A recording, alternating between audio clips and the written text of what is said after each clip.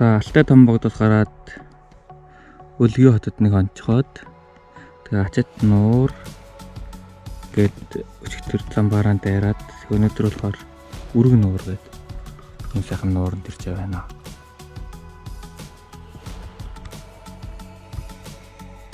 Тэн бас мөнх час дөргөд харагдаж байна. Тийм сайхан нутаг байна. Энэ нь болохоор Увс аймгийн Бүхмөрөн сумнанд тараалагддаг юм байна. Тэгээд цэнгэг устай мөн хүлгүү ундрмал нуур таас ундарж байгаа. Тэгээд амар сайхан нуур лээ. Тэгж бичлэг хийсэн.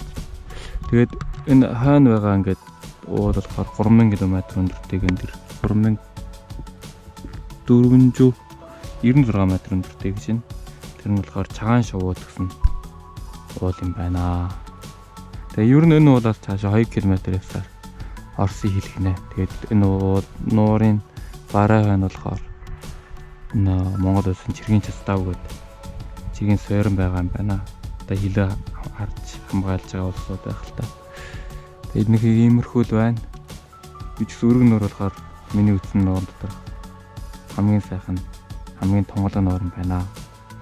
Ер нь бол хотон урган нуур, өргөн нуур гуравлгалж байна. Хамт тонголоо сайхан нуур болохоор